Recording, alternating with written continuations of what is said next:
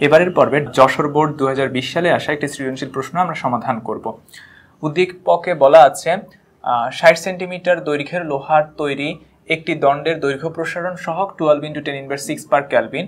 একজন শিক্ষার্থী পর্যবেক্ষণ করে দেখে দণ্ডটির তাপমাত্রা এইটি ডিগ্রি সেলসিয়াস বাড়ালে ঘনত্ব seven thousand seven hundred seventy seven point six kg per ঘনমিটার হয়।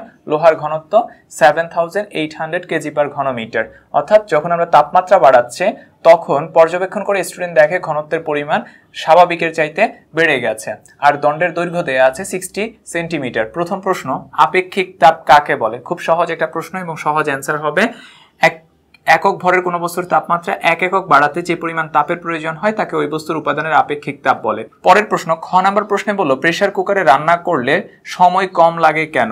প্রেশার কুকার হচ্ছে একটি নিজ ছিদ্র পাত্র, যার ফলে এখানে যখন রান্না করা হয় তখন বায়ুমণ্ডল বা বাষ্প আটকে গিয়ে সেখানে উচ্চ চাপের সৃষ্টি করে। আর যখন উচ্চ চাপের সৃষ্টি হয়, তখন স্ফুটনাঙ্কের পরিমাণ বেড়ে যায়, যার ফলে বেশি তাপমাত্রায় কোনো বস্তু ফুটতে শুরু করে, যার ফলে সেই সময় রান্না করা সহজ হয়ে যায়। তাহলে সহজ কথায় বললে এরকম দাঁড়াচ্ছে যে, যখন প্রেশার কুকারে রান্না করা হয়, তখন প্রেশার কুকারটি নিচ্ছিদ্র হওয়ার কারণে বাষ্প আটকে গিয়ে উচ্চ চাপের সৃষ্টি করে আর উচ্চ চাপের ফলে স্ফুটনাঙ্ক বেড়ে যায়, যার জন্য প্রেশার কুকারে রান্না করার সময় কম লাগে।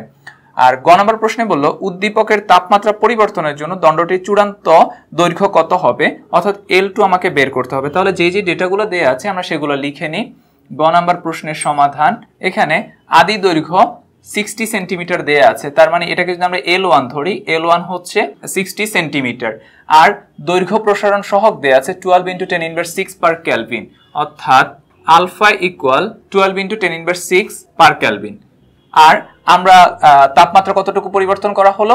এইটি ডিগ্রি সেলসিয়াস বাড়ানো হলো। তার মানে ডেল থেটার মান হচ্ছে এইটি কেলভিন যেহেতু তাপমাত্রা বাড়ানো হয়েছে, অর্থাৎ পরিবর্তন হয়েছে, পরিবর্তনের ক্ষেত্রে, পার্থক্যের ক্ষেত্রে সেলসিয়াসে যে মানটা পাওয়া যাবে ক্যালভিনেও সেই মানটাই পাওয়া যাবে। তাই এইটি ডিগ্রি সেলসিয়াসকে সরাসরি লিখলাম, এইটি ক্যালভিন। আমরা বের করব এল টু তাহলে দৈর্ঘ্য প্রসারণ সহগের সূত্র থেকে আমরা জানি আলফা সমান L two minus L one by L one into del theta তো এখান থেকে আমরা লিখতে পারি L two minus L one সমান alpha L one del theta তাহলে এখান থেকে এল টু সমান কি দাঁড়াবে? এল টু সমান দাঁড়াবে L one plus alpha L one del theta আমরা যদি এখান থেকে এল ওয়ানকে কমন নিয়ে নিই, তাহলে কি হবে? One plus alpha del theta এবার আমরা মানগুলা বসিয়ে দিই। এল ওয়ানের মান কত? সিক্সটি ওয়ান প্লাস আলফা এর মান কত? Twelve into ten inverse six আর ডেল থেটা এর মান হচ্ছে এইটি তাহলে আমরা যদি এটুকু ক্যালকুলেশন করি, তাহলে পাবো sixty point zero five seven six centimetre. দেখো, আমাদের এখানে কিন্তু আমি আদি দৈর্ঘ্যটাকে মিটারে নিই নাই, তাই এই এককটা সরাসরি সেন্টিমিটার এককে আসবে। এই জন্য লিখলাম sixty point zero five seven six centimetre. এটাই কিন্তু আমাদের এল টু এর মান। আর আমাদেরকে জিজ্ঞেস করেছিল, নতুন দৈর্ঘ্য কত হবে? নতুন দৈর্ঘ্য হবে sixty point zero five seven six centimetre. আমরা এখন ঘ নাম্বার প্রশ্নটি সমাধান করব। ঘ নাম্বার প্রশ্নে বলল, শিক্ষার্থীর পর্যবেক্ষণ সঠিক ছিল কিনা গাণিতিকভাবে বিশ্লেষণ করো। শিক্ষার্থীর পর্যবেক্ষণ কি ছিল? যে তাপমাত্রা যখন এইটি ডিগ্রি সেলসিয়াস বাড়ানো হলো, তখন ঘনত্ব হয়ে যায় সাত হাজার সাতশো সাতাত্তর দশমিক সিক্স কেজি পার ঘনমিটার। অর্থাৎ এই যে ঘনত্বটা পর্যবেক্ষণ করল, এটা সঠিক কিনা, তার মানে হচ্ছে তাপমাত্রা বৃদ্ধি করার পর বস্তুটার ঘনত্ব কত হয়েছিল, সেটা আমাদেরকে এই প্রশ্নের সমাধান করে দেখাতে হবে।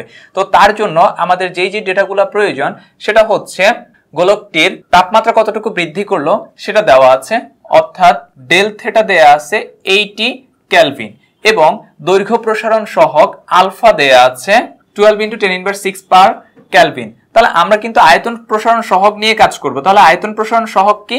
আয়তন প্রসারণ সহক হচ্ছে গামা। গামা সমান কি? গামা হচ্ছে থ্রি আলফা তাহলে এটাকে যদি আমরা তিন দ্বারা গুণ করে দিই, তাহলেই কিন্তু আমাদের যে গামার মানটা পেয়ে যাব। তাহলে গামা হচ্ছে three point six into ten inverse five per kelvin.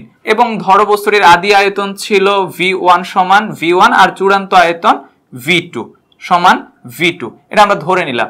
এবং আমরা জানি লোহার ঘনত্ব রো সমান হচ্ছে সাত হাজার আটশো কেজি পার ঘনমিটার।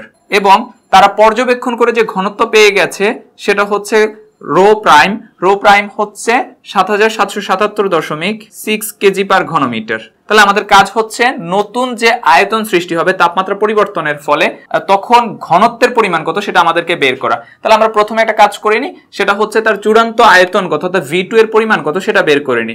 তা আমরা জানি গামা সমান V two minus V one by V one into del theta এখান থেকে লিখতে পারি V two minus V one সমান gamma V one del theta বা ভি টু সমান হবে V one plus gamma V one del theta এখান থেকে যদি আমরা ভি ওয়ানকে কমন নিয়ে নিই, তাহলে হবে one plus gamma del theta তাহলে এবার আমরা যদি এখানে মান বসিয়ে ক্যালকুলেশন করি, তাহলে পাবো ভি ওয়ানের কোনো ভ্যালু নাই ভি ওয়ান সরাসরি ভি ওয়ান আর ওয়ান প্লাস গামা এর মান হচ্ছে three point six into ten inverse five আর ডেল থেটা এর মান হচ্ছে এইটি ক্যালভিন তাহলে এটাকে যদি আমরা ক্যালকুলেশন করি, তাহলে পাবো one point zero zero two eight eight V one অর্থাৎ এটাই হচ্ছে তার চূড়ান্ত আয়তন। এখন, আদি যখন আয়তন ছিল, তখন তার ঘনত্ব ছিল রো সেই সময় আমরা লিখতে পারি rho equal M by